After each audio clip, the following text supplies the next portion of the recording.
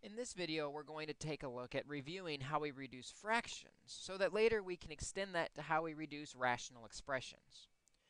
Because we're going to extend this process over to a more abstract situation, I'm going to clearly break down every step we go through as we reduce these fractions, even though normally we'd probably do a lot of the steps mentally. So to reduce fractions, what we simply do is we divide out common factors. So if I were to give you a problem like 24 over 15 and ask you to reduce this, what you would probably notice is that both 24 and 15 are divisible by 3. What you're really noticing there is 24 can be rewritten as 3, I'll write it down here, 3 times 8.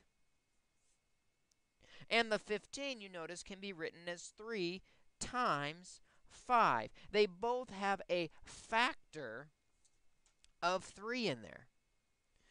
When there's a common factor in there, we can divide it out completely, leaving just the fraction 8 over 5 left.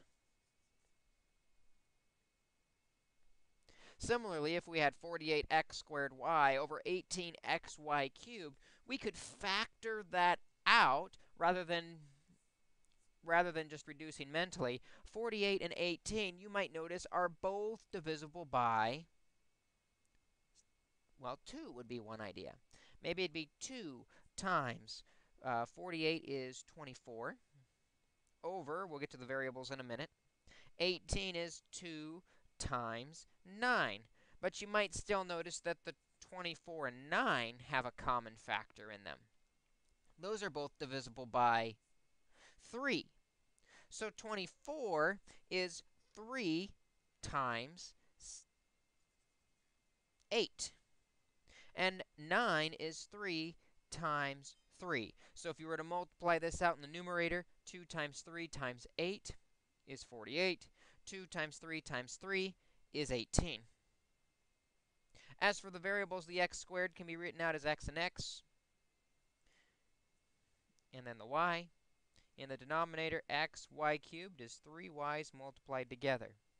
We have opened this up to all the factors so we can see the common factors of 2 divide out, the common factors of 3 divide out, the common factor of x divides out, and a common factor of y divides out. All that we have left in the numerator is 8x. In the denominator, we have a 3 and y times y or y squared. So yes, this is the extended way to reduce fractions, but this process of identifying the common factors and dividing out the common factor is going to help us reduce rational expressions.